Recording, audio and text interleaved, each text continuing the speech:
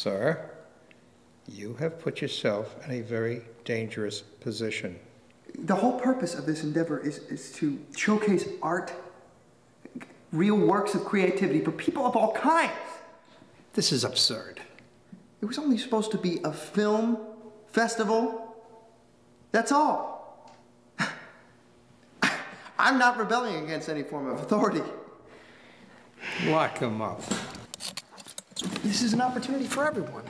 Real lives and real people and real passion. And the Anaheim International Film Festival will go on. You can try to stop. You can try to stop me, but you're not gonna!